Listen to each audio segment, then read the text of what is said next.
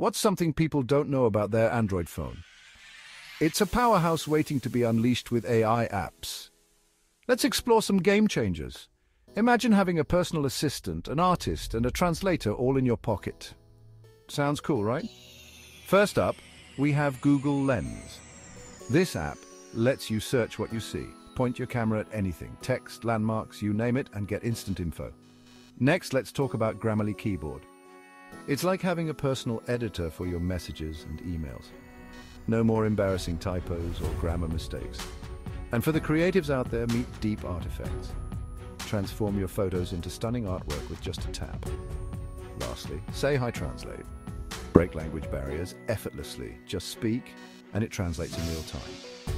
Perfect for travel or learning new languages. So there you have it. Download these free AI apps and let your Android phone work smarter, not harder. Catch you in the next video.